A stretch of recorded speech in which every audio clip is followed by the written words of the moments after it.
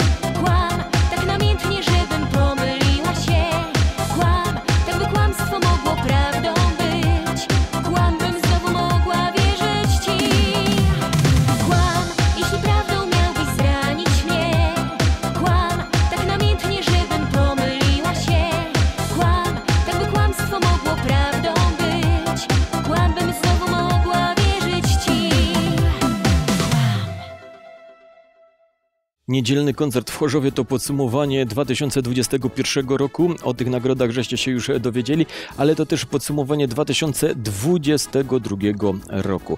I tak, debiut za projekt w, da- w 2022 roku otrzymali Michalina Starosta i Marcin Janota. Ja Michalina. Starosta, Marcin Janota. Za debiut 2022 roku listę śląskich szlagierów szlagierowo.pl wędruje dla nich. Dziękuję pięknie. Za szlagier 2022 roku to w sercach miłość gra i Chris Oxford Duo. Szlagier roku. Chris Oxford Duo w sercach miłość gra waszymi SMS-owymi głosami. Gratuluję! Szlagier roku 2022. Przyznam wam się, jestem bardzo zaskoczony, bardzo zadowolony. To dzięki wam, dzięki, bo muszę wam powiedzieć i się przyznać, że właśnie Jan Musialik, lista śląskich szlagierów, szlagierowo.pl, otworzyli mi właśnie ta furtka do tych mediów. Jasiu Musialik zaczął puszczać moje pierwsze teledyski, także dzięki ci Jasiu jeszcze raz bardzo z całego serduszka, naprawdę, jestem wzruszony. Super Szlagier 2022 roku, który to właśnie typują subskrybenci grupy LSS Szlagierowo.pl, to wyróżnienie powędrowało do Karpowicza i jego rodziny za szlagier Zobacz jak pięknie. Jeszcze jest jedna nagroda głosami grupy LSE szlagierowo.pl za 2022 rok. Super szlagier subskrybentów grupy LSS wędruje dla Karpowicz Family. Zobacz jak pięknie.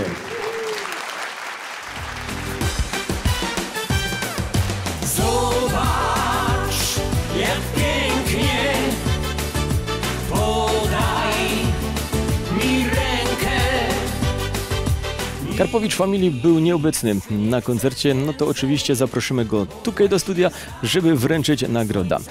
Teledysk, bo taką kategoria też mamy, 2022 roku powędrował do naszych dzisiejszych gości za film do utworu Wróć do mnie kochany. Teledysk roku. Wróć do mnie kochany dla Michaliny Starosty, Marcina Janoty i dla Dziękujemy bardzo. Drewnioka. Dziękujemy. Wykonawcą roku 2022 została Michalina Starosta. To już za chwilę właśnie obok mnie pojawią się ci goście. Michalina Starosta, Marcin Janota, Janusz Drewniok, no i trochę Oklahoma. Państwa SMS-owymi głosami wykonawcą roku 2022 zostaje Michalina Starosta!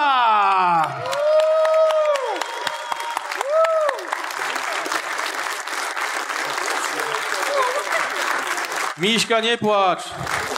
Mój make-up nie wytrzymał. Szukaliśmy sponsora na imprezę.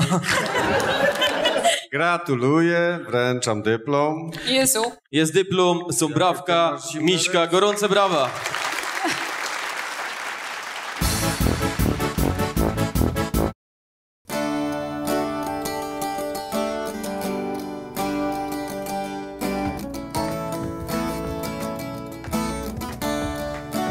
Prawie się dziwnuch, nie? Tak fajnie gro. No i czas i pora przyszła już teraz sobie powitać naszych szlagierowych gości w tym szlagierowym studiu. Zapowiadani są już razem z nami. Ten hop e, z gitarą, od niego zaczniemy, chociaż powinniśmy zacząć od kobiety, ale zaczniemy od niego. Janusz Drewniok, tak, Johnny, tak go dają w bełku na niego. Wszystkie niewiasty ponoć też. E, tak, jest Marcin Janota, jest Michalina Starosta. Dzień dobry. A on gro i grać będzie. Słuchajcie, yy, u was tak, debiut projektu 2022 roku, teledysk roku, wykonawca roku, czyli prawie wszystko, co było do wygrania, to żeście zgarnęli. To teraz pozostaje inne pytanie. Co dali? Przede wszystkim e, dziękujemy. E, bo to bardzo duże wyróżnienie e, i chyba e, pierwsza taka nagroda, która wywołała we mnie tak duże emocje. I powiem Ci szczerze, że nie wiem co dalej. Nie, to, to jest jakoś perspektywa, nie? To jest jakoś perspektywa, patrząc na to, że mamy marzec, to jest perspektywa, że jest dobrze w nowym roku. Są plany, widzę. E, jest bardzo dobrze, bym wręcz powiedziała, bo to, y, że dostaliśmy e, te nagrody, to jest taki bardzo duży motor napędowy do tego, żeby robić dalej jeszcze lepiej. Dobra, to o te robić dalej i jeszcze lepiej za chwilę zapytamy. Proszę bardzo, zdobywcy wszystkiego, co prawie dało się zdobyć podczas ostatniego podsumowania, są razem ze mną w studiu i tak se klachome.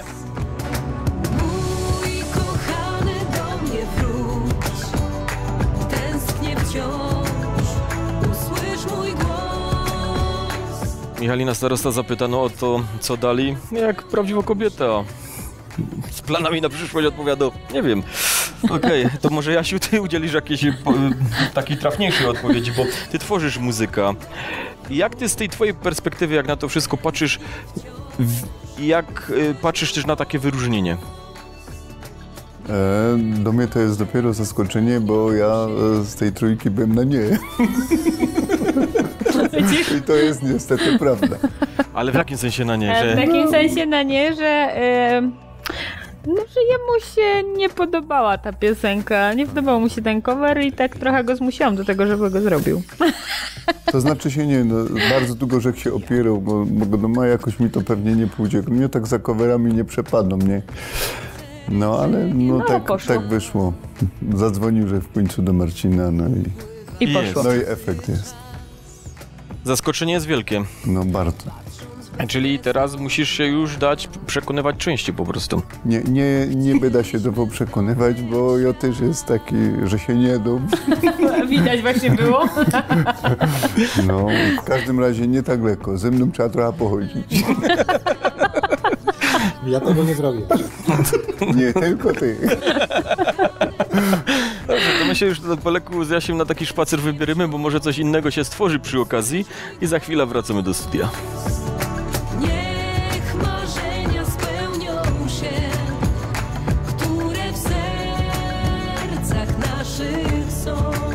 Dobrze, kobieta już miała głos, Jasiu z, z tej strony tak, e, człowieka, który tworzy muzykę, też miał głos, e, to teraz Marcin ze strony e, prezentera radiowego. Jak to jest? No bo po części jako radiowiec też masz trochę związane ręce, jak chodzi o całą ta sy, sytuacja muzyczno, grania, tego wszystkiego. Jak ty to widzisz? Znaczy powiem tak, nie nadużywam tego absolutnie, jeśli chodzi o antenę radiową, czyli ta piosenka to nie jest piosenka, która jest emitowana co godzinę na antenie. E, A myślę, że, myślę, że nie chcemy tego nadużywać absolutnie. Natomiast no, jest to ogólnie Czyli w bardzo... radiu na F tego nie robicie. Nie, w radiu na F tego nie robimy. Natomiast przyznam, że odbiór tej piosenki jest bardzo pozytywny i e, co mnie akurat zdziwiło, że w programach e, z piosenkami na życzenie sporo osób już teraz dzwoni i na przykład e, pisze, aby tą piosenkę zagrać specjalnie dla nich z dedykacją. Więc to jest jakiś taki chyba obraz tego, że ta piosenka spodobała się, wpadła w ucho e, i nie musimy tego nadużywać w bo tak naprawdę słuchacze sami chcą, aby ta piosenka była emitowana.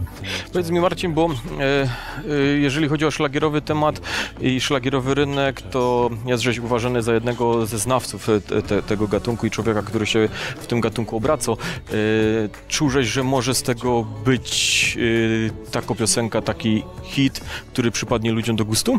To znaczy, jeśli chodzi o sam szlagier, to trudno to powiedzieć, bo to nie, to nie jest do końca szlagier.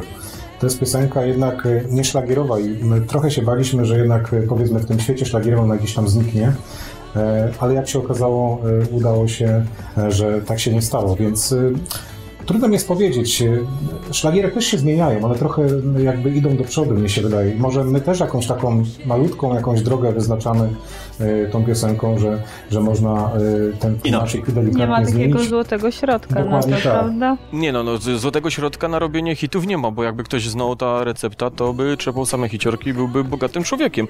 Oczywiście, ale mm, czasem tak jest, że się czuje, nie? Że coś to, że to może zażreć, e, więc dlatego też pytam, czy czuliście, że to w ogóle zażery? No czy to- był taki no, wiesz co, zamysł nie w ogóle, był żeby... taki stres, bo, bo na przykład y, aranż, który zrobił Janusz, y, jest zupełnie odbiega od tego oryginału, bo oryginał jest taki typowo, to są takie typowo bałkańskie klimaty, a Janusz praktycznie tych bałkańskich klimatów tam nie użył i to, Bo to, nie, Bo bo nie na... umiał.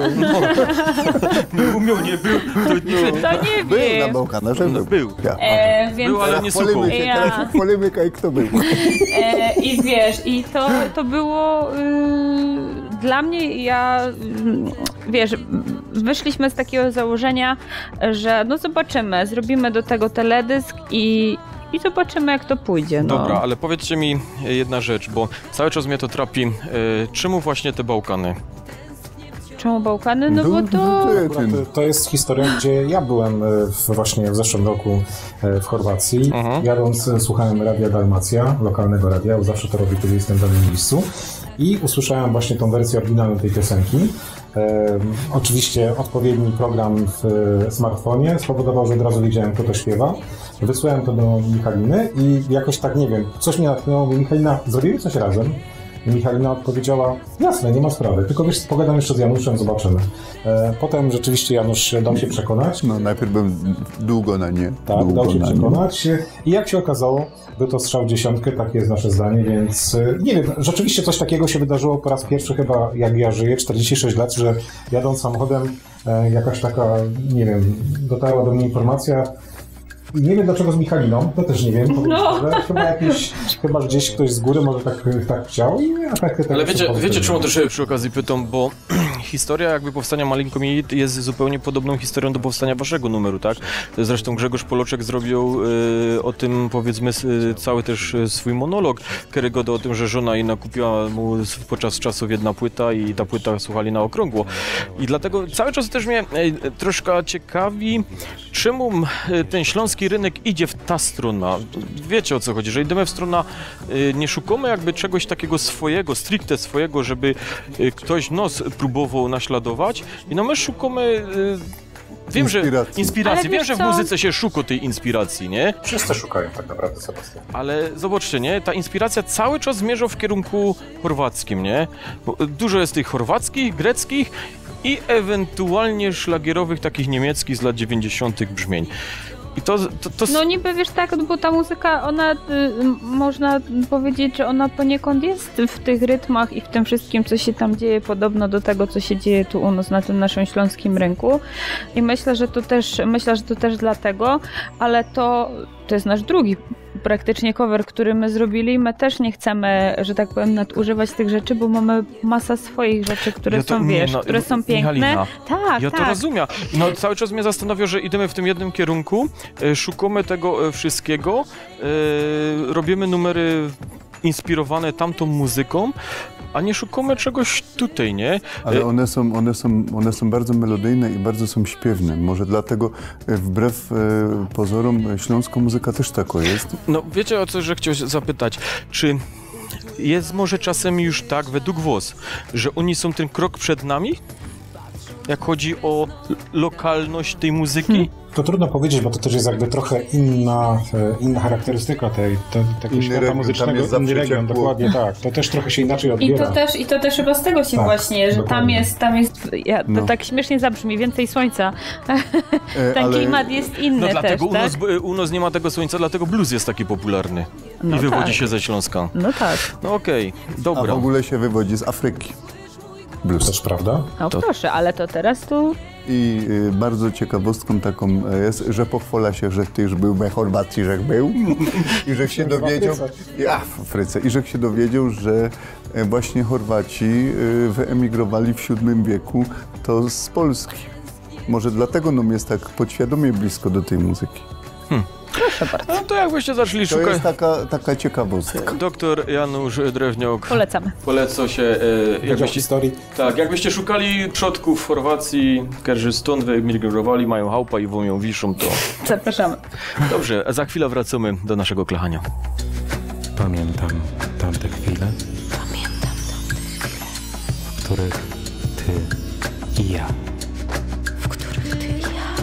Jalinko, to teraz e, dalej jakby wałkując ten temat tego naszego szlagierowego rynku i tego, co się dzieje na tym rynku, tu już my zaczęli troszkę o tych chorwackich klimatach, wspomnieniach, że to jednak kaś tam e, wspólnie pasuje do siebie.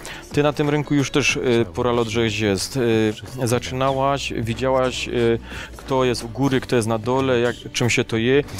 Powstawały nowe twory w postaci list przebojów, potem były dyplomy, wyróżnienia, nagrody. Jak myślisz teraz z perspektywy artysty i tego czasu, który już minął, czy w ogóle jest y, sens i czy jest jakikolwiek potencjał, żeby to wszystko poszło trochę jednak do przodu? E, wiesz co, myślę, że tak, tylko y, sami dobrze wiemy, wszyscy jak tu stoimy, że e, na tym rynku, znaczy jo, mm, broń Boże, żeby to źle nie zabrzmiało, ale y, jest nas coraz więcej. Chodzi mi o artystów, którzy zaczynają się pojawiać na tym śląskim rynku. E, i nie ma takiej, nie wiem, takiej możliwości, bo tak jak Marcin wspomniał, że my teraz może tą piosenką e, po, Pokorzecie jakoś pokorzemy tak, tak, mhm. jakby troszkę inna droga i że te szlagiery mogą mogą być takie, wiesz, bardziej, bardziej podniesione i każdy, każdy robi to, co czuje. Każda z moich piosenek, jak dobrze wiemy, e, jest inno, jest różno i nie jest to typowy szlagier. Znaczy, ja zawsze e, e, powtarzam ci, bo ty pytałaś, co robić, co robić, ja ci zawsze powtarzam, rób swoje. I to jest jakby e, odpowiedź na to, w którą stronę to powinno iść, że nie każdy robi swoje, ale z drugiej strony wam powiem, patrząc na e, koncert, który podsumowywał ob, obydwa lata, 2.1 i 2 2.22, moment, kiedy wychodzi Mirek Jędrowski i jest jak, jakiś taki szał, euforia, radość wśród tej publiczności, no a umówmy się, to jest staroszlagierowo szkoła. Tak, ale to jest Mirek Jędrowski i Mirek Jędrowski jest tak I kojarzony. pracuje na to tyle lat. To też jest istotne. I obawiam się, że jakby Mirek teraz zmienił to i poszedł w troszkę innym kierunku, już by że tak powiem, nie był tak, wiesz, przyjmowany. I od cały czas, od samego początku robię tak, robię takie rzeczy, a nie inne. Nie zmienią też tego kierunku jakoś, nie wiem, bardzo, ale to jest ją, Michalina Starosta. Ale myślisz, że ten rynek już jest powoli gotowy na to, żeby też pokazać, że to jest e, muzyka, którą może zostać grano większej rzeszy rozgłośni, aniżeli no tu u nas na Śląsku? E, Myślę, że tak i mam wrażenie, że e, nasza muzyka, jak widzę też jak gromy jakieś, e, jakieś koncerty, że mamy, że tak powiem, coraz młodsze grono ludzi, którzy nas słuchają, tak? Że wiek e, gdzieś tam naprawdę, bo i młodzież, czy widzę to po e, tych naszych wszystkich social mediach, e, gdzieś tam nawet wykorzystują ta nasza muzyka do czegoś, żeby stworzyć jakiś film czy cokolwiek, że te grono tych naszych odbiorców jest coraz młodsze. No dobra, ale to powiedzcie mi, w czym tak naprawdę teraz tkwi ten problem, że nie potrafimy otworzyć tych drzwi szerzej? Bo one są tak do pół jeszcze zamknięte, Marcin, nie? A może jest tak, że po prostu e, ktoś nam tych drzwi nie chce do końca otworzyć. Może też tak jest. Może jest zasób? Może jesteśmy troszeczkę e, w tym takim właśnie e, zaszufladkowani w tym szlagierowym świecie i to są powiedzmy artyści śląscy, są tacy, że ciężko się z piosenkami przebić do stacji nie grających szlagiery, bo to nie jest proste w tych czasach, doskonale o tym. Ale oczywiście wiemy o tym, że, że, że To, co powiedziała Michalina, jak, y, na czym zależy artyści? Na tym, aby docierał do jak naj, najszerszego grona odbiorców. Jeżeli artysta y, czuje, że to, co robi ten, na ten moment, może nie do końca dociera do takiej szerokiej ilości y, słuchaczy, którą on tego oczekuje, zawsze może spróbować czegoś innego i może ta droga będzie dobra, czyli to, co żeśmy wspominali przed chwileczką. Więc każdy próbuje robić to, aby y, jak najwięcej osób mogło danej piosenek posłuchać. Oczywiście ktoś powie, no tak, ale przykładowo piosenka Wróć do mnie kochany to nie jest szlagier, ona zaciera jakby tą drogę. Też tak ktoś może powiedzieć, prawda?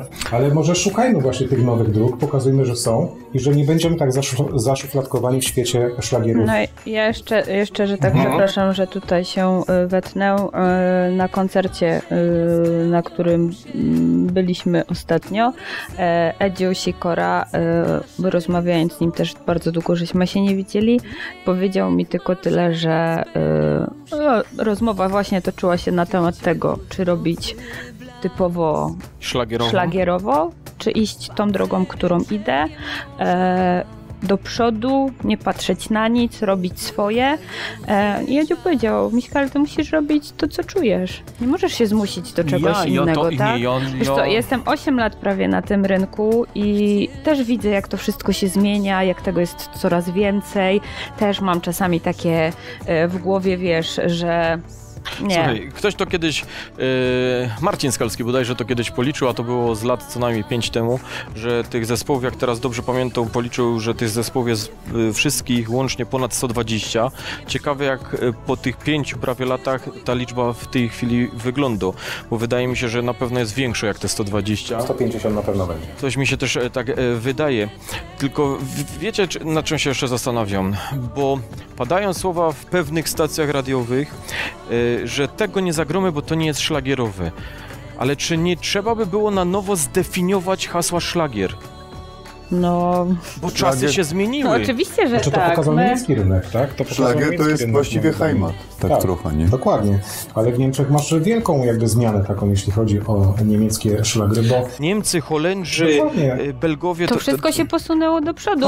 Tak. Pierwszy lepszy przykład z brzegu, Helen Fischer, to była artystka, która grała typowo niemieckie szlagiery, tak? A dzisiaj jest gwiazdą, która gra takie koncerty na takich stadionach i ci ludzie, którzy słuchali tych szlagierów, dalej ją słuchają, bo to po prostu poszło do przodu, tak? To wszystko się rozwinęło, No no, bo takie mamy czasy. No właśnie, ale czy my się też nie ograniczymy, jeżeli komuś godomy nie, nie zagromy tego, bo to nie jest Oczywiście, szlagier? że się ograniczamy. Nie? My jesteśmy artystami, no tak, ze Śląska. E, tu zaczynaliśmy, tu działamy, zaczynaliśmy szlagierowo, ale my też się rozwijamy, tak? My też się rozwijamy, to wszystko idzie do przodu, idzie technika do przodu, muzyka się zmienia, wszystko się zmienia, więc my nie możemy też stanąć, zamknąć się w takiej klatce i teraz robimy tylko tak i nic więcej. No nie, to to nie o to chodzi. Niech to będzie puentą tego pytania, że dokładnie nie o to chodzi, żeby zamknąć się w tej klatce, bo ona do końca nie jest złoto, jak ostatnio się my o tym przekonali. Jeszcze jedno pytanie zostało takie finałowe. Zostańcie z nami.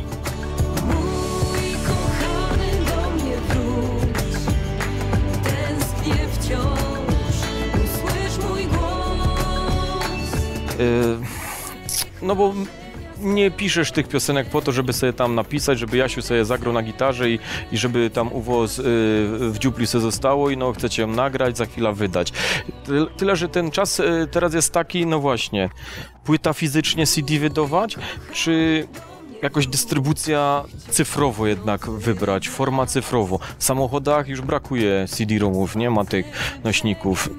Tak, więk- no, w większości tak. Ja jestem jeszcze taką osobą, która na pewno będzie chciała wydać to na CD-ku, ale oczywiście na wszystkich kanałach streamingowych też jak najbardziej, bo wiem po sobie. Jak jadę w samochodzie, podłączam, wrzucam sobie swoją playlistę i to leci, tak? Ale e, CD jak najbardziej, może nie w jakiejś zastraszającej, że tak powiem, ilości sztuk, ale w takiej, żeby ci, co będą chcieli, mogli to mieć to jest taki troszkę chyba też ukłon w to starsze pokolenie jednak, nie? Bo chociaż oni się doskonale odnajdują e, w smartfonach, internetach i w tych innych rzeczach. Tak, ale wolą to mieć, wiesz, zobaczyć. Fizy- fizycznie Tak, dotknąć. zobaczyć. No a ja bym chciał jeszcze na kasecioku najlepiej, o jeszcze fajnie No ale kaseta widzisz, wsadzić. Jasiu, y, się śmiesz. To nie jest śmieszne. Kaseta. Naprawdę. kaseta wraca do łask, zespół Myslowic wydaje płyta po 10 latach, wydaje ją i na CD i na winylu. Lada moment pojawi się winyl. Winyl też wraca do łask, zupełnie Tak. inne brzmienie Mhm, i prawda. inny system przetwarzania tego dźwięku. Ta cyfryzacja troszkę ten dźwięk zepsuła z drugiej strony, bo ci, co są takimi audiofilami, to jednak wolą, żeby to było wszystko analogowe, nie? Tak, On jest tak. tak. czysty, że jest, że Najlepiej jak w twoim piecu, żeby się lampa polyła, nie? tak jest.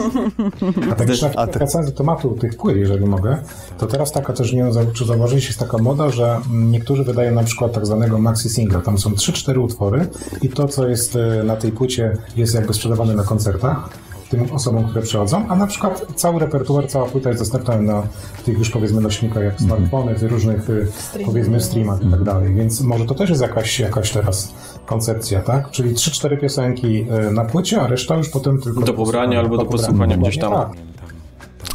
Jest to jakoś opcja. Ten świat się na pewno zmienia. E, Ten świat na pewno dąży do czegoś. Do czego? Ostatnio ciężko na te pytania odpowiedzieć. A dokąd dąży szlagierowy świat, to w ogóle ciężko na te pytania odpowiedzieć.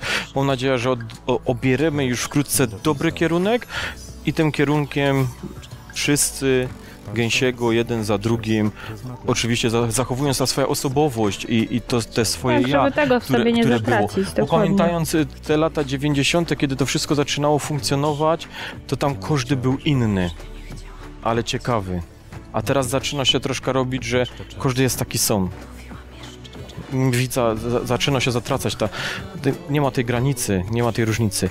Ale takie nagrody jak te pokazują, że chyba warto to robić. Dziękuję Wam bardzo za to, żeście przyjęli moje zaproszenie, bo wiem, że e, od niedzieli świętujecie, teraz jeszcze kończycie to świętowanie. Pierwszy raz ich trzeźwych widzimy w ogóle, więc to jest fajne. E, przede wszystkim jeszcze raz bardzo serdecznie, e, drodzy Państwo, dziękujemy za to. Dla mnie osobiście są to jedne z e, ważniejszych nagród w tej mojej ośmioletniej, e, że tak powiem, pracy tu na, na tym naszym śląskim rynku. E, dziękuję wszystkim, dziękuję tym, którzy są tutaj ze mną i tutaj i tam, że wierzą we mnie, wierzą w to, co robimy. E, Wszystkim tym, którzy ze mną współpracują, mam nadzieję, że będziecie współpracować dalej, a Państwo będziecie nadal chcieli słuchać naszych piosenek. Jest jeszcze jeden plus tego naszego dzisiejszego spotkania, bo nie wiem, czy pamiętasz Sebastian, ale Michał na pewno nie pamięta. E, Na naszym ostatnim spotkaniu, kiedy zapytałeś, czy to jest tylko taka jednorazowa e, Tak, tak, sprawa, tak, tak. jednorazowy twór, wtedy pamiętam, że Michał powiedział, tak, tak, to jest tylko jednorazowe, a dzisiaj powiedziała nie wiem. Także jest jakiś... Jest już nadzieja. Jest trochę jak Janusz. Daje się urabiać. Janusz. Także ty uważaj, bo za chwilę przyjdą z coverem, coś mi się wydaje. Dobrze, Ja już nawet wiem, jaki on jest. Michalina Starosta, Marcin Dzięki Jasiu bardzo. Drewniok, moi Dziękujemy. wasi goście dzisiaj.